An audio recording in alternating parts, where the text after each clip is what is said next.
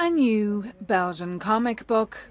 This one depicting the lives of locals forced to live on the streets due to rising rental prices in this neighbourhood. Among the drawings, Simona Brida, who struggled for years to find a home. One landlord even decided to sell his apartment so he would not be legally obliged to rent it to her. He asked me, What nationality are you? And I told him, and he said, Oh, I thought you were Turkish. Sorry, madam. It is gone. I sold it to someone else. I cried a lot. I'd waited one month for this place. Après, il m'a fait pleurer beaucoup, beaucoup. Hein. J'attendais pour ça un mois. And it's not due to a lack of housing, as the city builds around 3,500 new houses per year. This organisation that helps people in need of a home says the city is responding to the needs of private investors and not to the local inhabitants.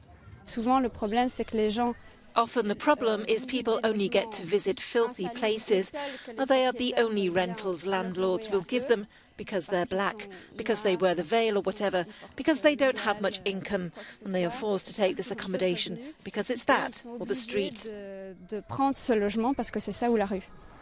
With rising energy prices and inflation, the situation will get worse in Brussels before it gets better. The picture across the continent is similar. Housing Europe say house prices are growing at their fastest pace in over a decade.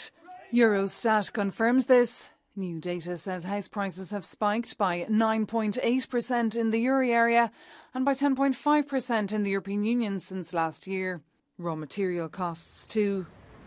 NGOs say cities should look to Austria for inspiration.